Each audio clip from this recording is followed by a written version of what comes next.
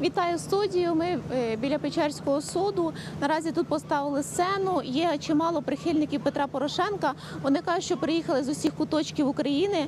Е, Кажуть, що їх ніхто не привозив. Вони особисто всі списалися е, у соцмережах і власним коштом дісталися Києва ще вранці. Зараз усі тут під Печерським судом. Прошу пряму мову.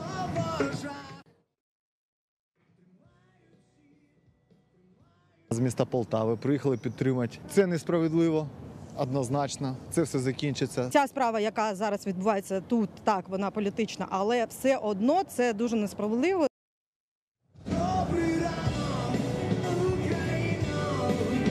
Наразі Петра Порошенка тут ще немає. Він у ДБР приїхав давати покази. Після того очікуємо, що він приїде сюди до суду. Нагадаю, що Петру Порошенко інкримінують у перевищенні владних повноважень, коли він у 2018 року нібито натиснув на голову тодішньої служби зовнішньої розвідки і позобов'язав його взяти у штат іще одним заголов першим заступником усім відомого.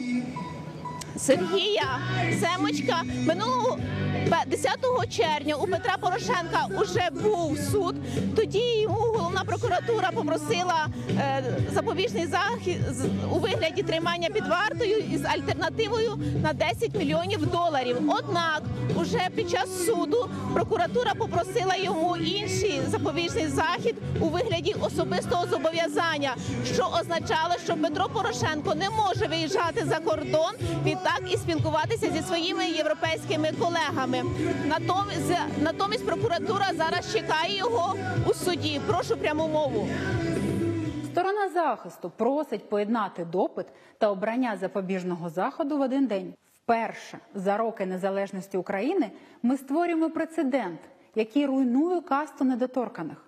Тому пропоную чинному народному депутату України продемонструвати співгромадянам власним прикладом повагу до закону, до створених правоохоронних органів та реформованих судів, скористатись правом на захист в спосіб, передбачений законом, і доводити в суді свою невинуватість. Документів прошу пряму мову.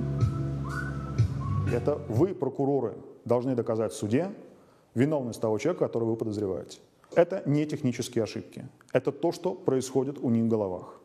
Так генеральный прокурор Украины и офис генерального прокурора Украины понимают презумпцию невиновности. Так они понимают суть своей работы.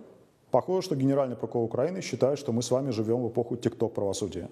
Достаточно записать видеообращение, повесить его на сайте, и можно не обосновывать свои претензии и не оправдываться в своих ошибках. Конечно, это не так. Ирина Валентиновна, мы ждем вас в Печерском суде. Придите и обоснуйте вашу позицию, как этого требует закон.